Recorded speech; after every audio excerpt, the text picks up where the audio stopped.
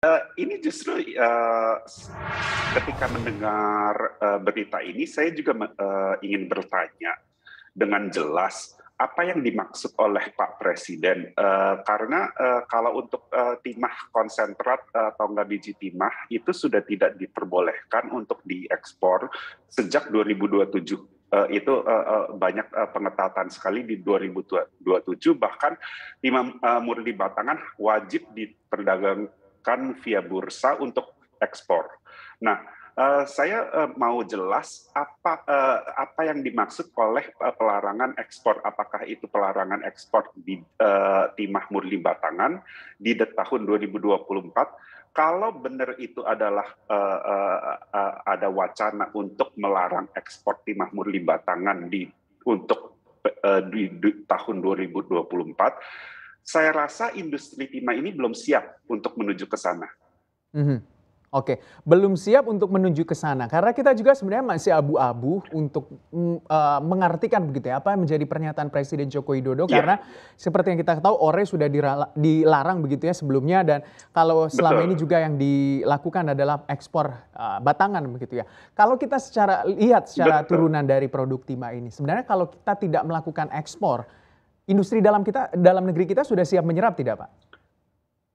Uh, saya, saya, saya, saya kasih gambaran ya. Uh, hmm. Secara data, selama ini uh, penyerapan domestik hanya dua persen.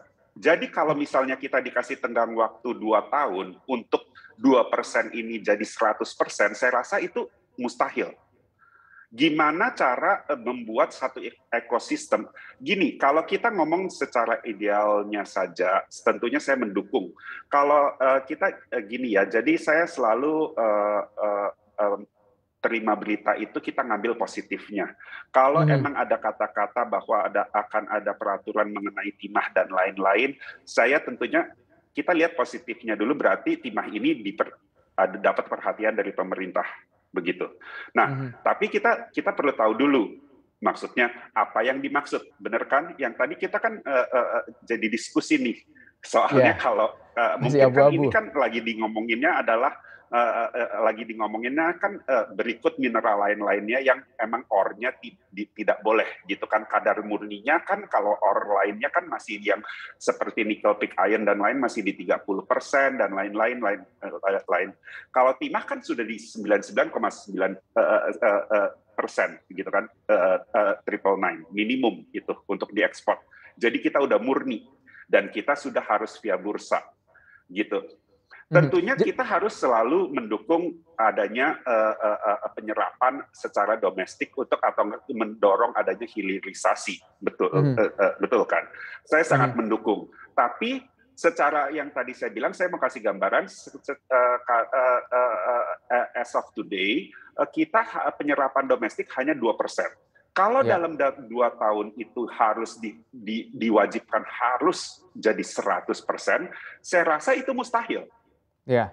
Uh, jangan nanti ini uh, sesuatu larangan ini menjadi sesuatu peluang untuk di mana industri hilir ini menjadi celah untuk uh, jadi uh, kayak seperti di uh, 2015 banyak yang mencetak solder abal-abal hanya untuk supaya kan karena dulu 2014 diwajibkan timah harus via bursa timah batangan mereka uh, banyak uh, uh, pemain industri timah ini nakal tidak mau uh, trading via bursa tidak mau bayar royalti 3% ke negara jadi mencetak solder yang abal-abal gitu yang yang segede uh, apa solder yang nggak benar bentuk timah bentuk lainnya gitu ya.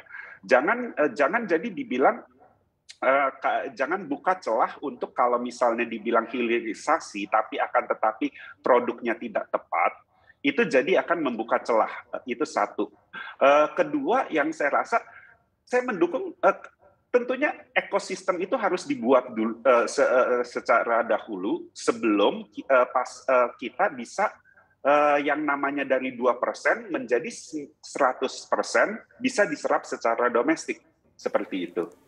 Untuk informasi lebih lengkap dan berita terkait, klik link deskripsi. Dan jangan lupa juga untuk download aplikasi CNBC Indonesia yang tersedia di Play Store dan juga App Store. Jangan lupa subscribe ya.